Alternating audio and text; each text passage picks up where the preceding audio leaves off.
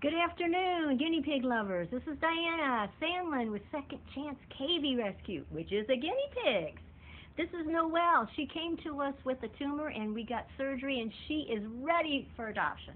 She's one of 150 guinea pigs in our rescue waiting for loving families to, to adopt them.